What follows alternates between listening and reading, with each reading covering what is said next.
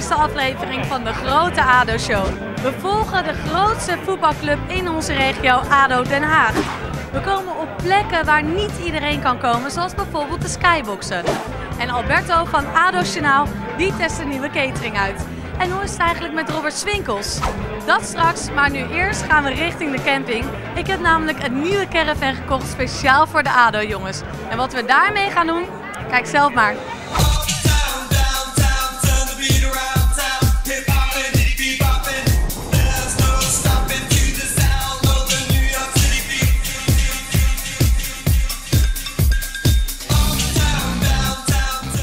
Plaatje.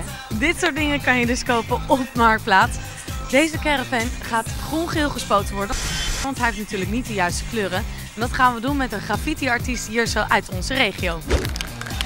De bedoeling van deze caravan is dat we een spel gaan spelen met de ADO-spelers. Ze moeten met een bal door een van de raapjes schieten. En hoe kleiner het raapje, hoe meer punten ze kunnen verdienen. Want wat vinden ADO-spelers het leukste om te doen na de wedstrijd? Competitie spelen, maar dan met elkaar.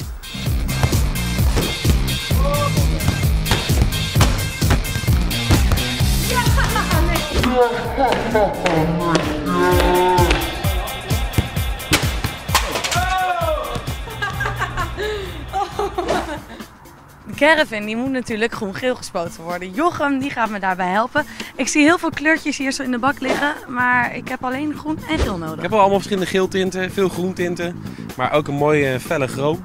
Maar als je met je prachtig mooie caravan de weg op gaat, dat iedereen precies kan lezen waar het om gaat. Ik weet al, je zei al van de week van, ah, die caravan, echt, het is dat ik hem niet zelf kan houden, want hij is zo mooi. Ja, dolgraag. Volgende zomer kom ik naar je toe met de caravan. Heerlijk, camping life. Ik wil je eerst even gaan aankleden om eh, te zorgen dat je... Je wil me gaan aankleden? Volgens mij heb ik al wat aan. Nee, ja, styling, weet wel. Ja. Ah. Nee, Ik word gesteld. Dat je, niet, eh, dat je niet onder de verf komt natuurlijk, want je hebt een mooi, mooi outfit aan. En eh, de bedoeling is dat je probeert niet te ver af en niet te dichtbij, want als het gaat te druppelen, dat is natuurlijk niet de bedoeling. Jochem, dit is hem. De caravan heeft natuurlijk niet de juiste kleur. Moet groen-geel gemaakt worden. En ik zat zelf te denken, iets met de grote ADO-show hier. Je moet een beetje groot denken, dus dit hele deel, eh, de grote adershow en dan naast de deur bijvoorbeeld de ooievaar. Hier zo, Daarnaast. hier.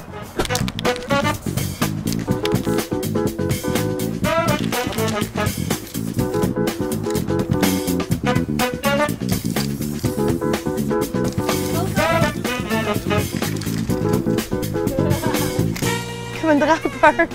Ah, geef niet prik je erin en is het voorbij. Een beetje groen daaronder misschien, dat is wel En mooi. misschien nog een klein beetje geel daar zo, of niet?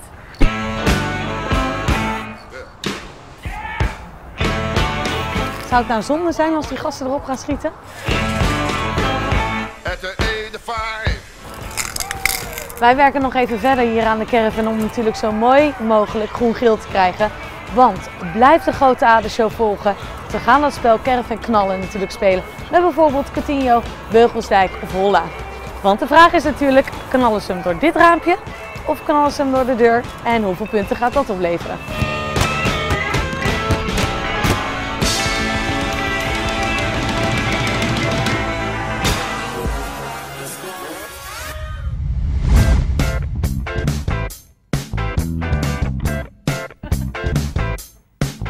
Ligt best lekker. Ik mis alleen iemand die eventjes mijn kuiten nu gaat masseren. I- iemand? Hey, over hem wilde ik het hebben. Robert Swinkels. Vorig jaar natuurlijk een flinke blessure opgelopen. En ja, de vraag is natuurlijk, hoe is het met die jongen? Gaat het een beetje?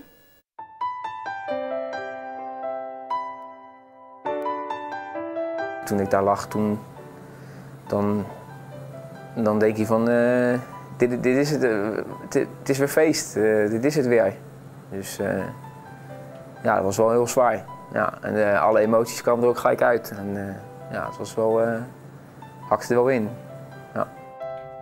Ik voelde me heel erg prettig en met Tommy en Vito voor me, denk wel een goede, goede samenwerking hadden ook. En, en dan in één keer ga je weer terug naar... eh, 10 minuutjes fietsen en, En eh, drie keer tien herhalingen voor de spiegel eh, door je knieën zakken. Dus ja, het is, eh, het is een groot contrast. Ja.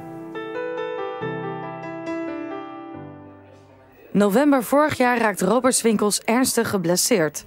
De doelman scheurde de kruisband van zijn linkerknie en werd geopereerd.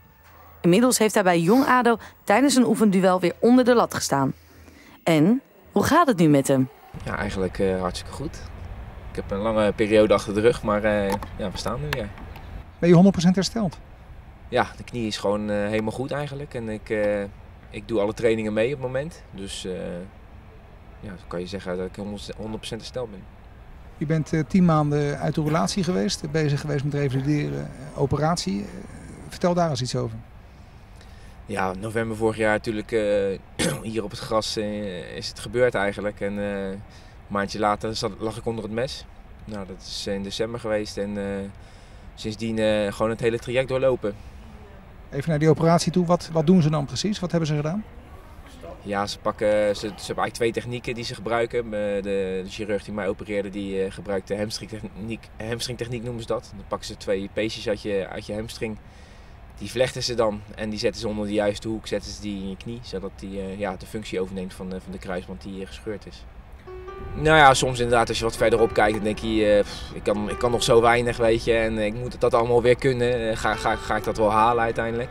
Of eh, ja, gewoon een weekje die niet lekker loopt of je knie die stribbelt een beetje tegen. Ja, dan ga je een beetje, beetje tegen jezelf lopen vechten. Omdat je eigenlijk altijd zeg maar, met jezelf aan het trainen bent. Dus eh, ja, zulke momenten. Ja, dan moet je vertrouwen blijven houden. Je moet blijven doorgaan. En nu eh, tien maanden verder. En heb je vorige week een halve wedstrijd gekiept tegen Jong Excelsior, als ik het goed begrijp. Hoe ging dat? Ja, ook leuk natuurlijk. Eh, natuurlijk een aantal weken eh, training daarvoor al gehad. Dus eh, ja, in de groep be- beweeg je al een beetje. Maar dan is het toch weer voor het echi. Dan doe je weer een tenuutje aan. Ja, dat was gewoon wel heel erg leuk. Ja, ik stond wel na 10 minuten 2-0 achter. Dus wist ik ook weer gelijk waar ik, waar, waar ik stond. Maar nee, het was gewoon fijn om weer in de goal te staan. Hoe kijk jij tegen ADO Den Haag dit seizoen, het begin van het seizoen aan? Het gaat lastig. Hoe zie jij dat? Ja, absoluut. Moeizame start. ben ik met je eens. Ja, jongens die gewoon nog niet, eh, niet de vorm te pakken hebben die ze, die ze vorig jaar wel eh, lieten zien. En een aantal nieuwe jongens ja, die er ook niet direct, eh, niet direct staan. Maar goed, wij moeten zorgen als groep dat, dat dat bij elkaar komt. En, en dat we gaan knokken voor elke meter voor elkaar. En dan als die vorm erbij komt, dan denk ik dat we gewoon hele goede voetballers hebben die hele mooie dingen kunnen laten zien. Je kan natuurlijk een wedstrijd kijken vanaf de tribune, maar er zijn ook plekken waar je niet zo snel kan komen. Ik heb het over de skyboxen. Ja, want wat is daar nou zo gezellig aan en wordt daar echt genetwerkt? En welke skybox is het allerleukst? Ik heb voor mezelf een backstage pasje geregeld en ik ben gaan skybox hoppen. En er bleek nog een behoorlijk wat verschil te zijn tussen die skyboxen. Kijk mee! Het ziet er misschien een beetje uit als een ziekenhuis. De geur is er in ieder geval niet naar. Want het ruikt hier echt ontzettend lekker naar eten en ook drinken. Hierachter bevindt het zich dus allemaal. De skyboxen. Ik wil natuurlijk weten waar is het lekkerste eten? Waar zijn de meeste drankjes? Waar is het grootste feest? En waar wordt er nou echt genetwerkt in zo'n skybox?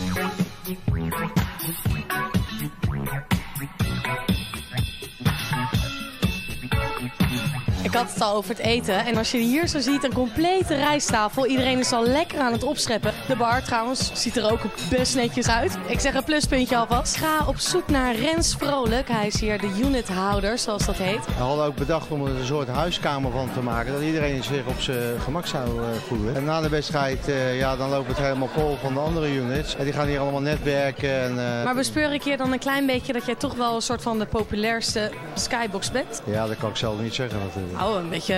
Je hoeft niet heel erg bescheiden te zijn zijn. wel de, meestal de laatste die weggaan. Nou, dat zegt al genoeg. Hey Marcel, we zaten er net in een andere skybox. Jij neemt ons nu mee naar... De skybox van de ABN AMRO, Boyteluurs, Incasso gerechtsdeurwaarders en BDO accountants.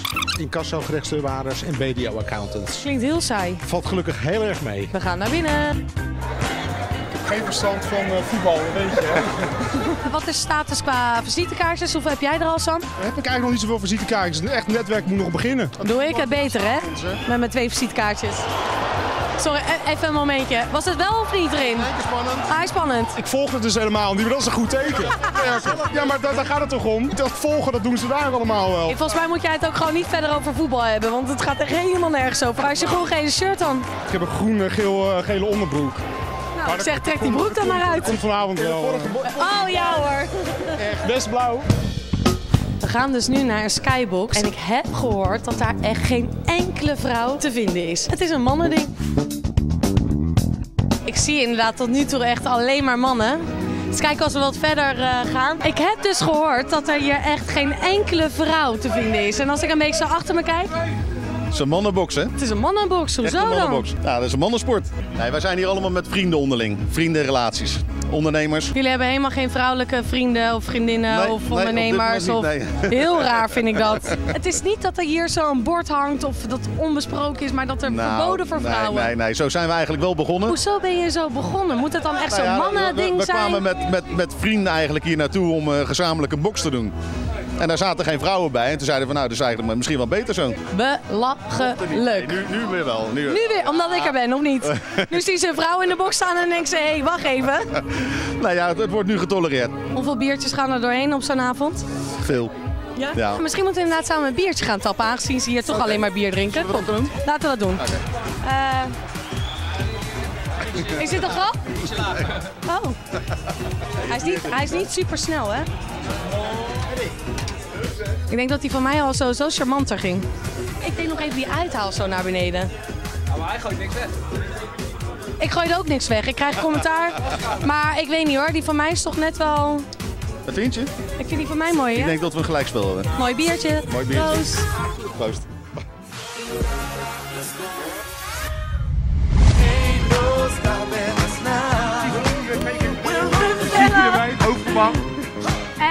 Gezelligheid kan je elke week zien in de grote Adershow. Ja, ja, ik ben erbij. Alberto van het Adersjournaal natuurlijk. Hey, en Alberto, jij komt op plekken waar echt bijna niemand komt. Hoe doe je dat toch? Ja, ik kom overal, joh. Ik kom bij de jongens in het supportershome, eh uitwedstrijden, het uitvak is belangrijk. Ik kom overal. Maar ik kom ook bij de spelers, hoor. En je komt ook waar het eten is en daar ben ik gek op. Je gaat de nieuwe catering testen. Maar hoe was eigenlijk die oude catering? Nou, zo, zoals je kan zien aan het lichaam eh, is de oude catering perfect. Nee, die was niet, eh, die was niet eh, up-to-date. Het was niet lekker. het was niet goed. Het was lauwe koffie, eh, slappe eh, worsten. Slappe worsten. Ja, slappe worsten. En nu krijg je echt een, een knappend broodje met een stevige worst ertussen. Dat is belangrijk. En een biertje. Dat is ook lekker. Goed. Nou, dat belooft een hoop. We gaan met Alberto mee. Ja, gezellig. Muziek is dat dan. Yo, dit is het Adersjournaal. Een wedstrijd van een supporter. Het moet natuurlijk gaan om eh, spanning, sensatie, strijd. Maar ook de inwendige mens. Nou is er altijd wat te doen geweest over de catering van Haag. Maar die schijnt verbeterd te zijn. Nou, dat gaan wij controleren. Kijkt u even mee. Nou, het broodje is Unox. Mag geen reclame maken, maar doen we toch lekker. Want ze blijven de lekkers natuurlijk. Ze liggen klaar, de klanten kunnen komen. Broodjes en gebakje. Knallen maar. Maar één broodje worst. Broodje worstmaat. Hey, beter geworden de catering dat je nou hier ook een broodje kan halen? Ja, ja, ja, absoluut. Ja, ja. Minder lange rijen en eh, toch traditioneel broodje worst, hè? Well, don't you know that other kids are starving in Japan? So eat it. Just eat it. Oeh, dan staan wij beneden. Je hebt net een biertje besteld, maar ja, dat is wel makkelijk hè, de bier nou. Ja, gelukkig. Het is Ja. weer terug, hè? Ja, is het beter dat we ook hier gewoon een biertje kunnen halen? En, ik, ik heb nog niet geproefd. Oh, ga eens proeven dan. Doe ik het voor. Oké, nou, lekker. Wat zijn dit broodjes kipkoren? Ja, tuurlijk. Zijn ook broodjes kipkoren. Dus als je zegt van, nou, ik wil eh, niks van een varken of een paard of een koe. Kun je van een kip nemen. Catering is beter geworden, hè? Ja, is zeker beter geworden. Lekker biertje trouwens. eh. Er zijn vaak klachten geweest over de koffie. Hoe is die nou? Nou, ruik maar. Ja, ruikt naar een echt bakje koffie, hè, ja, maat? ja, dan een eh, neutje erin. Lekker, man. Ja? Echt, ja, zeker. De catering is er duidelijk op eh, verbeterd. We zijn er nog niet. Maar de meeste supporters zijn tevreden. Dus eh, dit was onze bijdrage. Dit was het Adeljournaal. Laters! Mevrouw Krul, hoe is de wedstrijd verlopen? Ehm, nou ja, de spelers. eh, ja, ik ben eigenlijk wel tevreden over de wedstrijd. En eh, dit beeld ken je natuurlijk, hè? En zo'n verhaal. Met zijn achtergrond. Maar moet je eens opletten hoe maf. Dat was nummer 1. En dit is nummer 2. Met een mooi kruisje op de grond, zodat je precies weet waar je moet staan. En normaal gesproken, als Maurice Stijn hier staat of een van de spelers, dan hebben ze het natuurlijk over voetbal. Maar de mannen zijn ook naar een tenniskliniek geweest op sportcentrum De Rijenhof. En gaat het die mannen een beetje af? Wij van de Grote ADO Show reisden natuurlijk mee. En kunnen ze een beetje tennissen? Nou, we zijn net begonnen, moet ik zeggen. Ik, als het gaat over vorig jaar, er heel veel talenten bij. Dus ik denk eh, dat ik verwacht er weer wat van vandaag, ja. Zeker.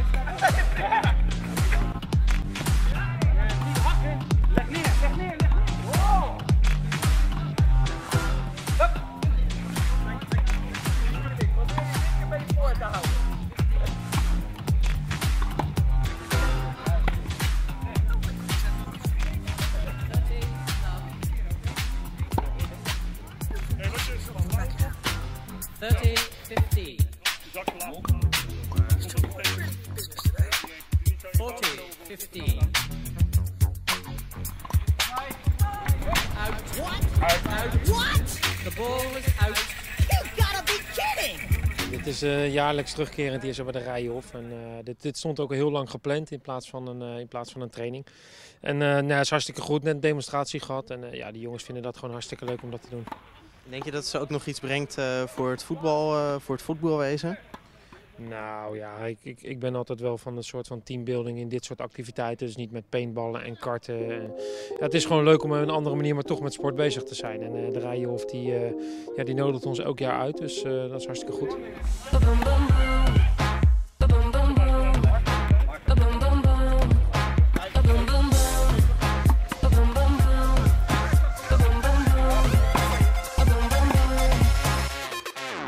Zometeen een wedstrijdje, weet je al tegen wie je speelt?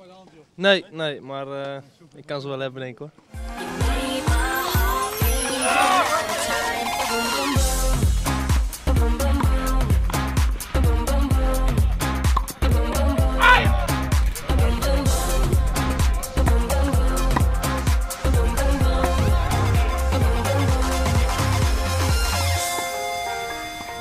It's difficult to play tennis. I see now I have pain in my hand, but uh, it's nice, yes. Have you played tennis before? Mm, no, only with friends, but no, no professional. I don't know to play. Yeah, it's, it's nice. It's nice sport. Do you think it's easier to learn tennis because you're already a good football player? No, I think it's very difficult because it's it's not the same like football. It's different, you know, and it's difficult to, to learn uh, easy. Eh, heb je voorgaande jaren zelf ook meegedaan? Ja, nou niet eh, met de clinics. Ik sta meestal met, eh, met de rest van de staf gewoon een, een balletje te slaan. Ik ben niet zo goed in tennis.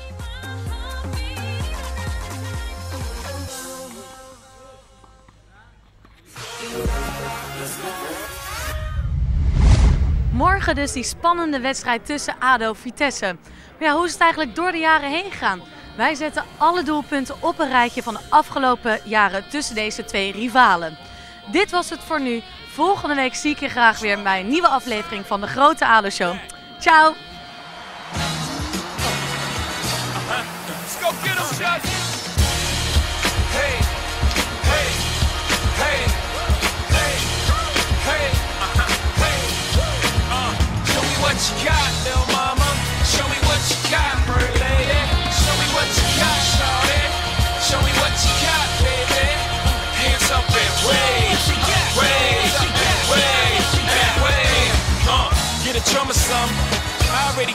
Summer some. It's the winter's turn. Ho is the coldest. I just get better with time. I'm like Opus. One, young, no to it like like a snowflake. Okay, show me what you got, babe. Words slurring, engine purring. Mommy front, but I'm so determined. Shots up a drone, now she in the zone. I ain't talking about the 2-3. Mommy in the zone like the homie 2-3. Jordan and chain, make no difference. We all ballin' the same. I am the Mike Jordan to record it. You might wanna fall back from recording. But you right, it's not important, so it forced him to go for the hype. For being brave, they may applaud him. But misery, I will assure them. Oh, baby, just ignore them. Truth or dare, mommy, listen and learn. I got a drop, I just took up the top. It's your turn. Hey, hey, hey, hey, hey, hey, hey. Show me what you got, little mama. Show me what you got, pretty lady. Show me what you got, shawty. Show me what you got, baby. Hands up and wave, and wave, and wave,